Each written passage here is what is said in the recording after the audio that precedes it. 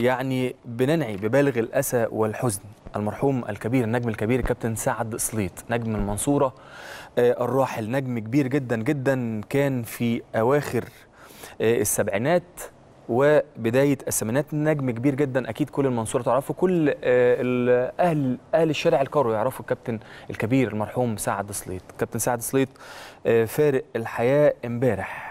كل العزاء لينا كقناة أهلي ونادي أهلي لهذا النجم الكبير ولاسرته في المنصورة ولكل شعب المنصورة ولكل الأسرة القرويه عموما. ده النجم الكبير كابتن سعد سليط. أكيد في ناس ما تعرفوش لكن كان نجم كبير جدا من جيل العمالقة. آه، الكابتن سعد سليط وعزاء ان شاء الله يكون النهارده بنادي المنصورة وإن شاء الله يوم الاثنين هيكون في عزاء في الحمدية الشاذلية. كان في تكريم من قبل قدامى أو جمعية قدامى اللاعبين اللي بيرقصها الكابتن الكبير عبد المنعم الحاج اللي هيكون معانا في الفقرة الثانية مع محمد سعيد لكن ما لحقش. ودايما إحنا يعني بنحاول نكرم كده في الآخر. يا جماعة عايزين نشوف رموزنا الكبيرة زي الكابتن سعد سيد الله يرحمه كان لازم نكرمه وكان لازم كل الدنيا تعرفه. معايا الكابتن الكبير الكابتن محمد الشيال نجم المنصورة السابق. كابتن محمد أهلا بيك.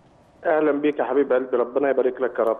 أه، بعزيك وبنقل تعازي قناة النادي الأهلي والنادي الأهلي نفسه لأسرة المرحوم الكبير الكابتن سعد سليط سع- يعني انت عارف سعد سخيط من الناس المحترمة من اللعيبة الكويسة قوي قوي قوي في نادي المنصورة وله شعبية جارفة جدا في نادي المنصورة.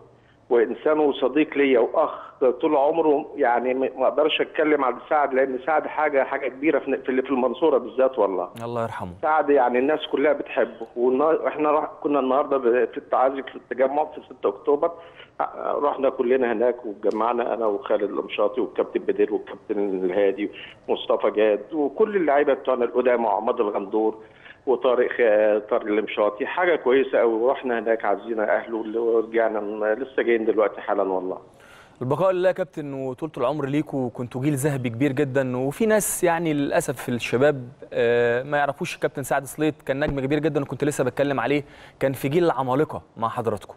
يعني جيل جيل جيل ما يتعوضش.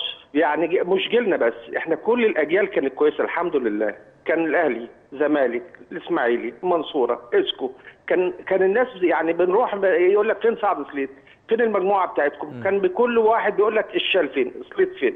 أحمد شاكر الله يرحمه حاجة كويسة. كنا كنا حاجة يعني ف... كنا بنفتخر إن إحنا رايحين نلعب أي فرقة. سعد ده اسطوره يا جدعان والله من الناس الناس كلها بتحبه. أكيد أكيد يا كابتن. عشان. كده إحنا يعني مش عايز أقول لك كلنا أكيد زعلانين على الكابتن سعد سليط وكان في صراع. مع المرض في الفترة الأخيرة يا كابتن. ده هو ما كانش تعبان والله العظيم الأسبوع اللي فات إحنا كنا بنعزمه عشان إحنا كنا جايين لنا عاملين تجمعات رواد بست رواد برئاسة الأستاذ طارق آه، عبد الهادي وبنروح آه، نلعب بورسعيد ورحنا دمياط ورحنا بلاد جنبنا كتير. ويعني حاجة حاجة مشرفة. سعد كان بيجي معانا. الأسبوع اللي فات بتص- بتصل بيه قال لي يا كابتن معلش والنبي يا كابتن شهاد أنا تعبان شوية. ولا كان في حاجة الحمد لله. يعني ما كانش في صراع كان مجرد تعب عادي.